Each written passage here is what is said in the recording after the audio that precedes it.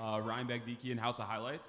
Jake, uh, what do you say to people who say you're not good enough to box against a boxing legend? And Mike, what do you say to people who say you're too old to be fighting? Why don't we start with uh, Mike? Go ahead. I think the people that said that wish they were up here. Because no one else can do it. Who else can do this? Who, who else can shut the sporting world down? No one else can do it. Who- This, so we, we got the both of us, and we're going to do this. And um, we're friends. There's no doubt it's friends, but in that ring, we're not going to be friends. That's just what it is. Yeah.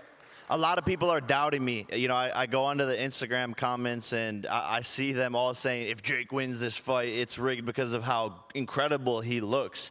Age doesn't matter. Age is just a number. He's a killer. He's a warrior. He's been doing this his whole entire life. So it's second nature to him. I've been doing this for, for four years and I've been doing it at a super high level. But on July 20th, I'm going to show the world that I can outbox Mike Tyson and prove everyone wrong and show that I will be the one doing the killing.